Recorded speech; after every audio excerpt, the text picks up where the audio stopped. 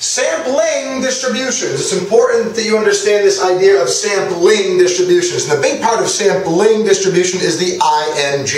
Because the way you get a sampling distribution is by sampling, and sampling, and sampling, and sampling, and sampling, and sampling, and sampling, and sampling, and sampling, and sampling, and sampling.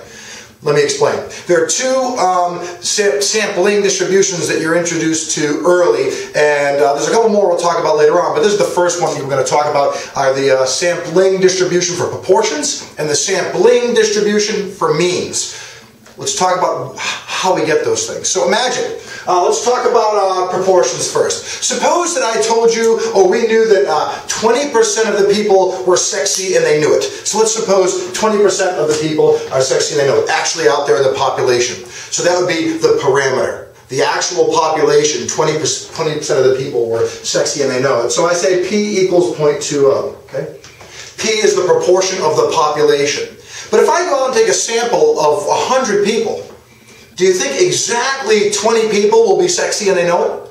Do you think that's going to happen? No, because if I take this sample over here, maybe only 18 people are sexy and they know it. If I take another sample, a random sample again, maybe only 20, maybe 17 are. Then I take another sample, maybe 24 are. But most of those samples, close to about 20, will be sexy and they'll know it. So um, that number, 20 over 100, or 22 over 100, or 21 over 100, would be the proportion in my sample. A sample proportion is known as a p-hat. So if you can imagine this, me going out, me showing, I'll show you a little scale here, and we get about 20, 25, 30, 15, and 10%. I'm going to go out and I'm going to take a random sample of 100 people. So ready? Here's 100 people. Oh, in this sample, this random sample, 18 out of the 100, which is 18%, were sexy and they knew it. So right around 18, I'm going to put a little p hat. And then I take another sample, and I find out in that sample, 22% were sexy and they knew it. So at 22%, I put another p hat. And then I go take another random sample of 100 people. And of those 100 people, 24 were sexy and they knew it.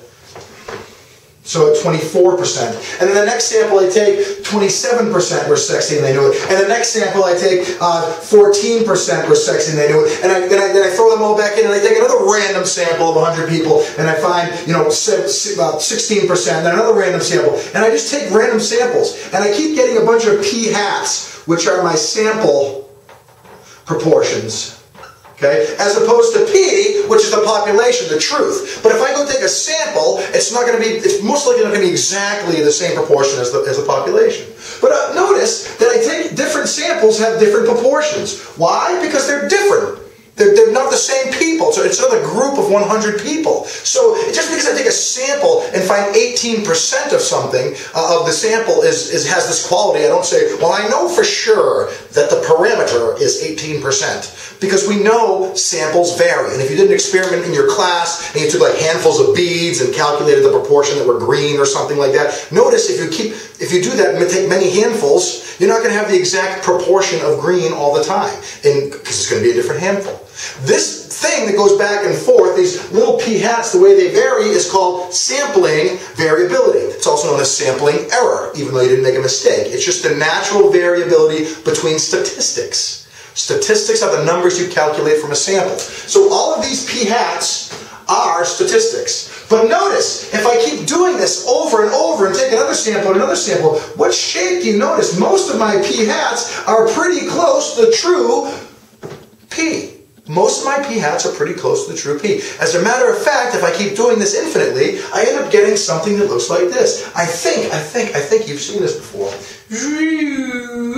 Something that's, well, that's not perfect. Yeah, bring it over here. Something that ends up being normalish, symmetric, centered at the true P. It's amazing. All of these P hats, if I take a P hat, and another P hat, another P hat, many of them are really close to the true P.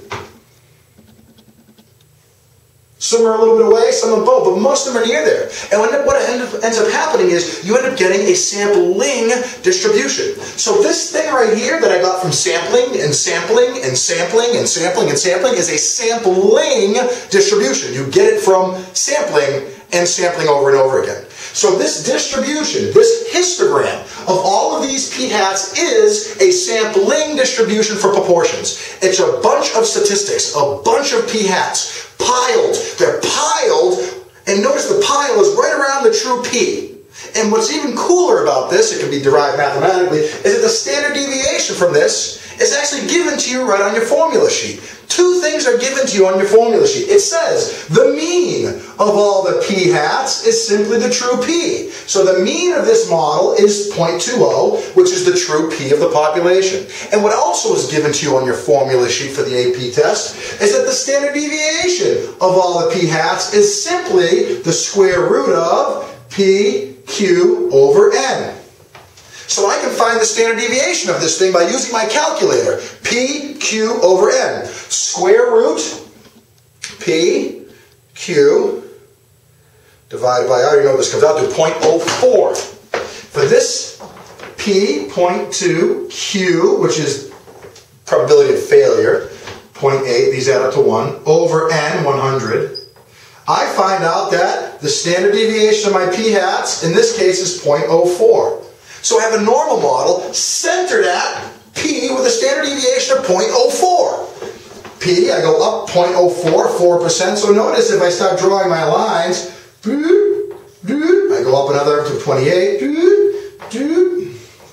About 68% of my p hats will be between 16% and 24%. About 95% of my p hats will be between 28% and 12%.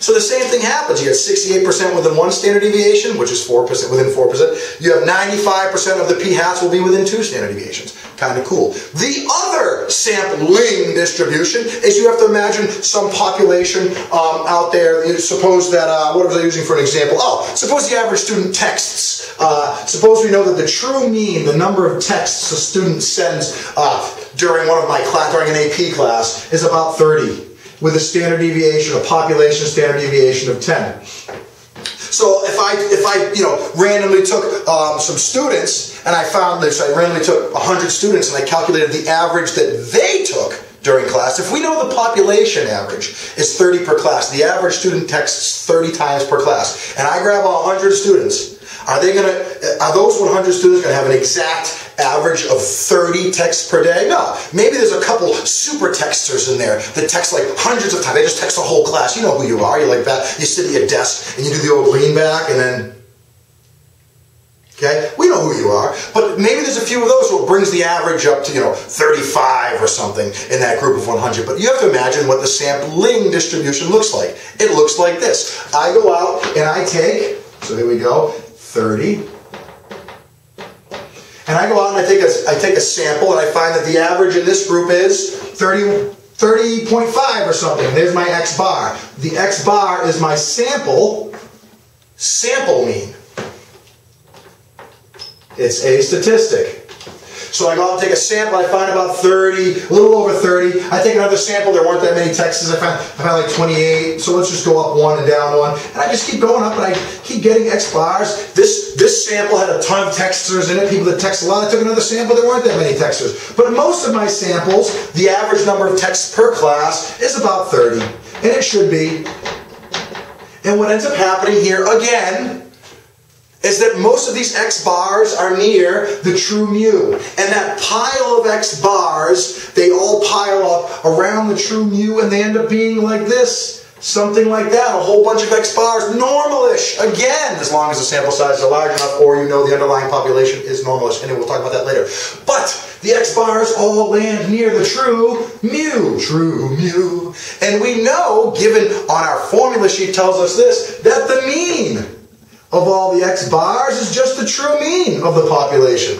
So all the x bars are centered around the true mean. And the standard deviation of all the x bars, the formula is given to you, is the population standard deviation divided by the square root of sample size. So suppose I'm, I'm, my sample's 100, then I can find the standard deviation of all these x bars, the standard deviation of all these x bars, sorry, is the population standard deviation of 10 with a square root 100, which is 10 over 10, which is 1.